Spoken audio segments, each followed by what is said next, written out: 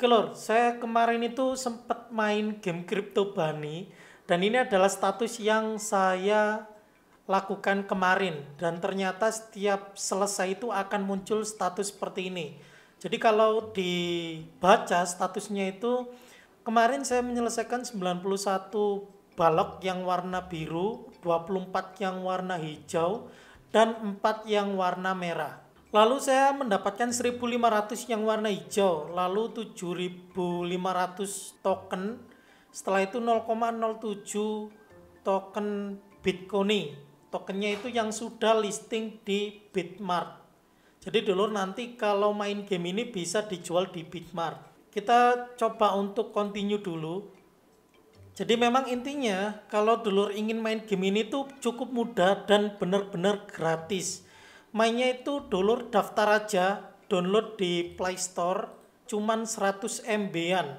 Setelah dulur nanti login dan daftar di emailnya, lalu dulur main aja. Cara mainnya itu gampang banget. Dulur klik yang blok seperti ini, diklik. Ini adalah tampilan dari gameplay Crypto Bunny lur.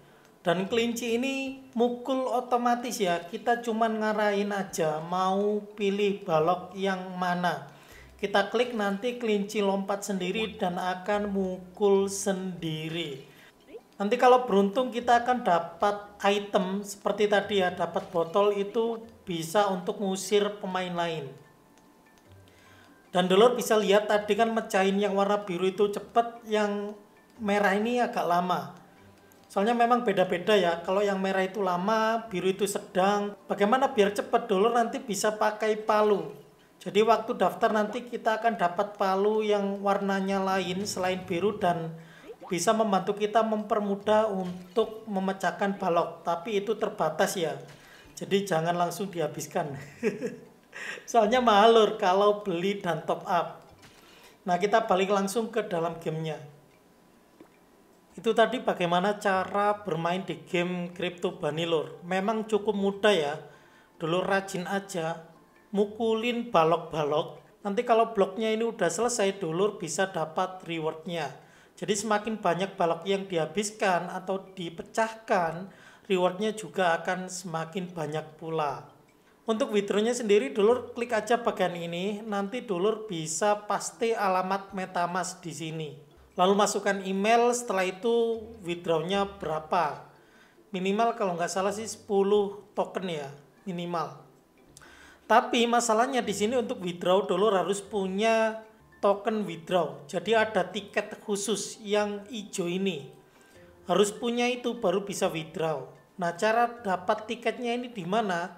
Cara dapat tiketnya ini di store tapi harus beli 20.000 emerald. Nanti dapat 50 token withdraw.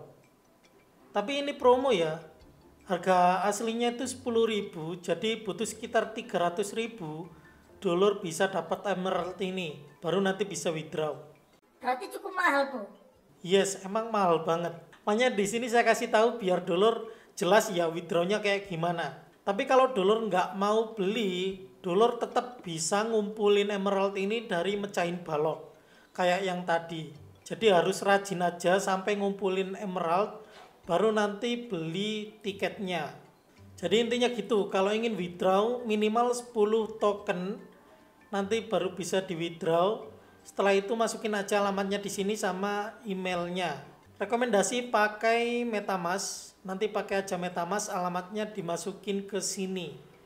Good job.